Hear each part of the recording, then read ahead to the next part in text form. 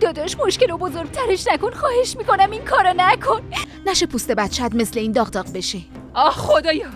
اگه پول میفرستادی الان رو تشک نه بلکه روی تخت خواب میخوابیدی عزیزم. نه از خدا بترسن داداش.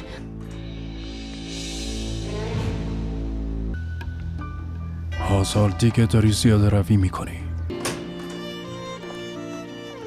این گلا برای توه. شب بخیر. تو قرنطینه هم که این کارا رو با من می‌کنی؟ خب حالا راستش خالم یه عالمه جاهد چی شده؟ فکر کنم کسی حمله کرده. بسم الله الرحمن الرحیم. نه ولش کن دیگه.